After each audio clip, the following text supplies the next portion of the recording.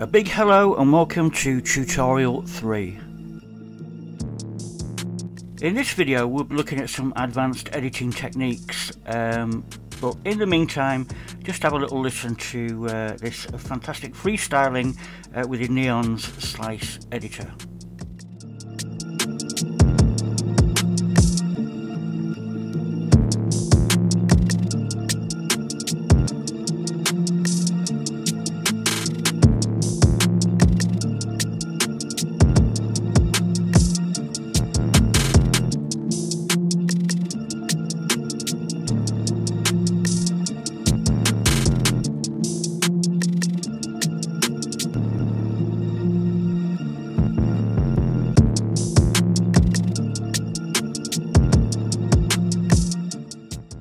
So I've got some pretty major additions even since my last video, all of which have made their way into version 1.05, which should be available anytime now. So since most of those are editing features or different ways of uh, recording, uh, I want to go over these advanced techniques with you today because uh, to get the most out of them you really need to have them demonstrated.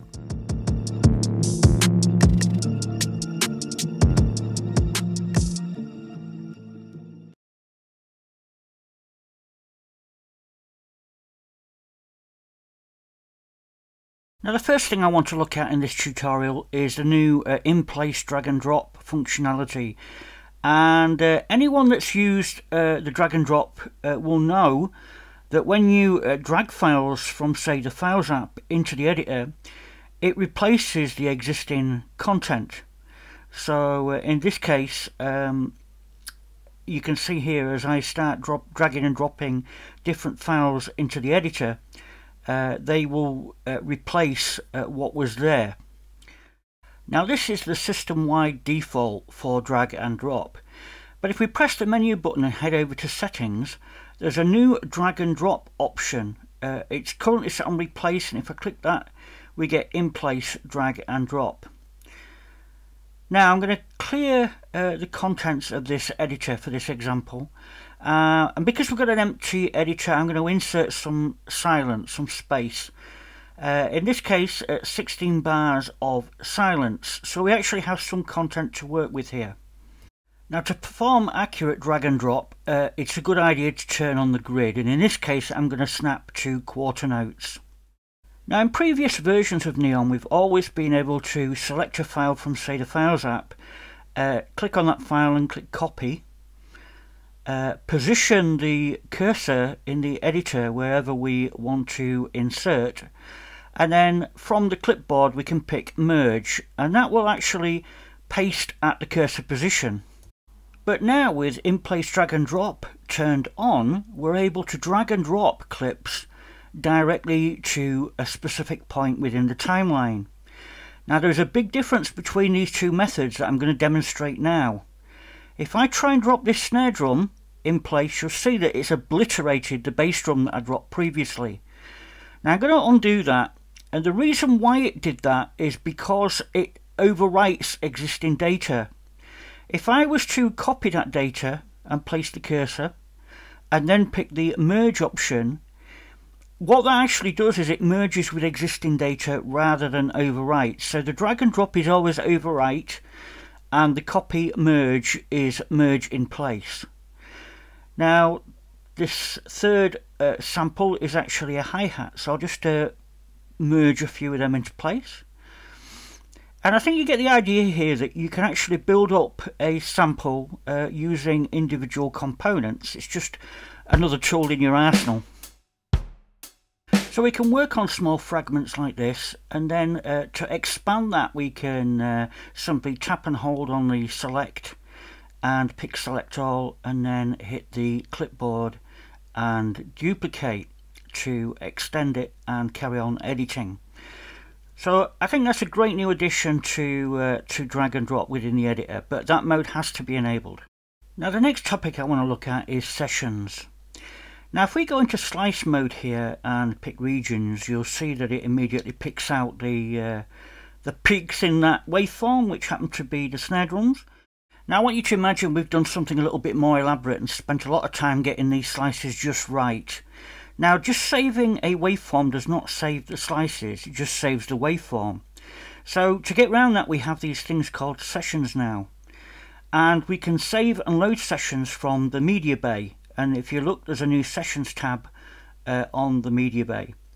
Now if I try and save this session, you'll notice that we immediately get an error because we never actually saved uh, the audio to disk. So we first need to do that and uh, save the audio with a specific file name.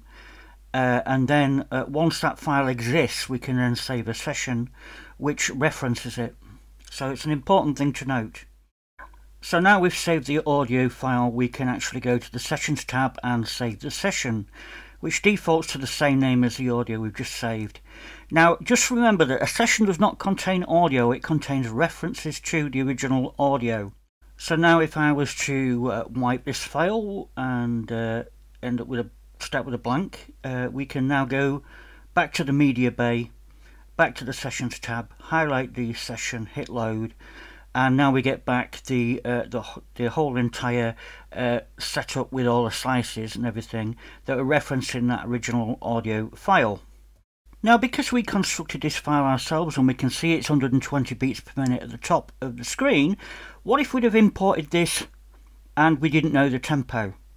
Well one way to find out is to actually tap on the tempo button and uh, tap and hold on the uh, tap tempo icon. Neon will now estimate the BPM and set the tempo up accordingly. Now I'm currently doing this in standalone mode so I have access to the tempo because when hosted as an AUV3 the tempo is locked to host and I'll show you a way around that in a minute. Now I've got another file here which I know is a specific BPM but uh, obviously the tempo is set incorrectly right now. But again, if we tap and hold on the tap tempo, uh, it gets adjusted to the 130 beats per minute that we know this file is. Now this is also true of warp. We can do exactly the same in warp because obviously if you want to warp a sample you need to know the original tempo. So if we tap on hold on the warp and then tap and hold the tap tempo again it estimates the tempo and sets up the warp uh, BPM accordingly. Now if uh, Neon is loaded as an AUV3, as here inside of AUM, uh, you'll see that the tempo is um, is locked to that of the host. If we change the host tempo, then Neon's tempo changes along with that. Now ordinarily you want to be locked to the host tempo in nearly all cases. If I press the tempo button now you'll see we'll get an error telling us that the host is in charge of tempo. But if you uh, long press on the tempo button, it temporarily disables that locking to host. So now we've got access to this menu and we can actually uh, uh, do a tempo change. Uh, if you long press on that button again, on the tempo button, it then resumes uh, normal functionality and, and locks back to the host tempo. So now this estimated tempo feature makes uh, warping very easy. If we turn on warp mode and then press and hold warp to change the settings, long press on the tap tempo, it's now estimated the original tempo and we're all ready to go. So now we've configured the original tempo, we can now change the tempo of the host and uh, have Neon uh, follow that tempo. So uh, that's a great, a great new feature I think is the estimate tempo feature. Um, so let's just change the tempo up a little bit, and here we go. Now, some drum beats are very difficult to estimate tempo, so suppose we have a drum beat and estimate tempo gets it wrong, then there is another way of uh, manually um, estimating, which is to tap and hold on the tempo button to disengage it from uh, host uh, sync and that gives us access to the tempo options. Now, when we open up the tempo dialog, if you lightly rest your finger over the actual BPM and slide your finger left to right, you'll see that the actual waveform moves on the timeline. And we can use this to kind of uh, line up the peaks within the waveform uh, against the ruler and that will give you a, a really good idea of, uh, of the tempo and here I think that tempo is 120 beats per minute. Again, once you've done that, don't forget to uh, long press on the tempo button to re-engage with the host. So I'm sure by now if you've used Neon, you'll be familiar with the traditional form of recording. If we long press on the record button, we get the record options. Uh, here I'm just going to demonstrate quickly that we can set a recording level and then if we uh, press the record button within Neon, Neon will sit and wait for the host to start playing and the recording will start at uh, beat zero and start recording on until we hit the stop button. But suppose we want to uh, start playback at a specific point within the host, so maybe bar 4 for instance. Uh, the way we do that is to use something called uh, in-place recording, which can be turned on from the record menu. Now AUM's transport is currently positioned at bar 4, so when I hit the record button within Neon, the cursor is positioned at bar 4 and then when we hit play in the host transport, uh, recording will begin. Now everything up to bar 4 will just be filled with silence. But it's a nice way of actually uh, recording something to play back at a specific offset. Now I think in one of my previous videos I mentioned that if you uh, tap and hold on the play button we get access to uh, output level and that's an attenuation level but we also now have an input level as well as an output level so that's very handy if you want to attenuate the input if you're getting something that's just uh, creating too much distortion or you've got too much output we can attenuate it there the media bay has become a great way of uh, storing and managing your files. But of course, if you've got lots of files and folders here, finding something might be quite difficult. Now if you swipe up on the Media Bay toolbar, you can make this full screen. And once in full screen mode, if you actually pull down on the uh, files area, we actually get a search facility. Now this search facility will go away as soon as you type scrolling again. Now if I type in something like Doug, i.e. Doug Woods, i.e. Uh, Cool Beans, uh, we'll get a whole bunch of files that have the word Doug inside them, including this folder. And when it's done, it's done a deep search within the folder structure and, and highlighted any folder that contains a file with that word. Now if you've got a large uh, collection of uh, samples and a large directory structure, I can't tell you how important that would be. So uh, that's the uh, Media Bay file search. Now if we take a quick look in settings, you'll notice that uh, save on exit by default is turned on. And what that means is that if you actually ever record anything or construct anything and don't actually save it and then exit the program, um, you'll see that these uh, unsaved 1, unsaved 2, unsaved 3, these are files that have been saved automatically when you exit just to prevent you losing whatever you've recorded. Now you can rescue these or you can long press on the delete button and choose to trash them all. So it's a nice hidden feature there, hidden away on the delete button. So instead of deleting a single file, that long press deletes all the uh, the unsaved files from the media bay. Now to finish off this video I'm going to uh, put together a few of the things that we've learned and just show you uh, uh, what we can do with this uh, drum sample here. In particular I want to show you how to use the uh, in-place drag and drop in a very creative way to mangle and uh, manipulate and rework your drum samples. Now it's pretty obvious that the tempo is wrong for this sample so I'm just going to long press on the tap tempo button to estimate the tempo. Now that looks more in keeping, you can see the peaks actually lining up with the ruler.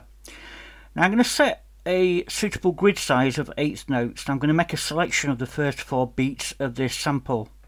Now there's a handy hidden feature in Neon. If you tap the uh, clipboard button you'll get the clipboard options, cut, copy, paste, merge and duplicate and so on. But if you long press this button and drag you get a drag and drop object which is uh, basically the selection in the editor. But even better, if we turn on this in place drag and drop, you, you probably guessed it, you can now drag and drop sections of this sample and actually create a mangled version. As you can see, I can drag that two beat or four beat selection around and then just drag and keep appending and create a unique drum beat out of what was a fixed uh, sample uh, that I found in some uh, drum library somewhere. So a great way of mangling drum beats. And uh, let's just hear what that sounds like.